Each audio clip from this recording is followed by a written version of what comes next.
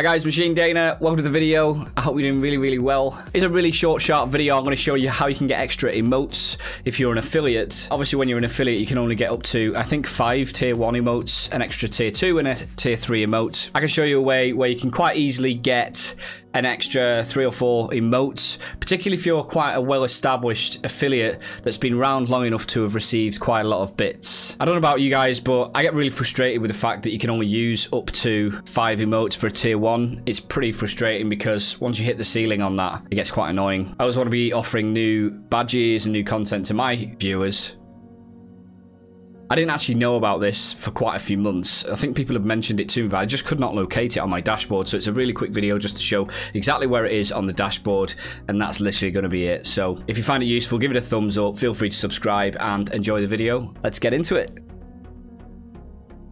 Okay, first you're going to need to browse to Twitch, of course. And we need to go into the Preferences tab within the navigation. Go into the Affiliate Preferences. Now, normally you'd manage your emotes within the Emotes section here. And this is where I found it confusing. I couldn't find anywhere here that related to additional emotes. Obviously, you can get the five tier one emotes if you've unlocked them. And I think it's like 50 or 55 subs that you need to get to be able to unlock the tier one subs to their maximum. It's five of five here, as you can see. You can get an additional tier two for anyone that subs to you on a tier two, and an additional tier three for anyone that subs on a tier three. And that's kind of it in the emotes settings area. However, if you go into, if you scroll down, we've got bits, tier rewards, badges, and emotes. Now, you've more than likely looked in here before and looked at the bits badges. It's not so obvious about the emote badges, and even when it's there, there's no obvious area to edit those. You click on edit on the right-hand side, this isn't obvious when there's no emote there. Obviously, the badge updates are pretty obvious. So I'll just show you what this looks like without any badge. It's either blank if there's no qualifying emote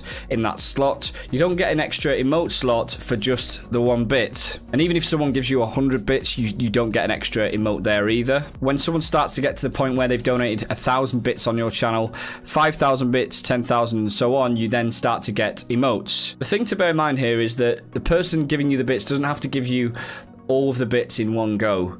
So I've got people that have collectively contributed 5k bits, uh, but I've not had a single 5k bits donation, if that makes sense. And likewise with the 10k bits, I've got one guy that's very generous guy who's donated 10,000 bits to my channel, and that's unlocked this emote slot here. When you click on the edit button, you'll see options to upload the emote on this side here under emote rewards. The padlock is there all the way through the chain here, so literally every sort of major milestone, you get new bits unlocked. I think for most affiliates, getting 10k, 25, even 50 and 75k bits, if you do it long enough and you have loyal enough viewers and generous enough viewers, it's quite reasonable to believe that you might get like one, two, three, four, five, six extra emote slots. I think when you're getting into like the hundreds of thousands of bits, and certainly when you're getting into the millions of bits, it's unrealistic of most affiliates to probably get there unless you're extremely lucky and have wonderful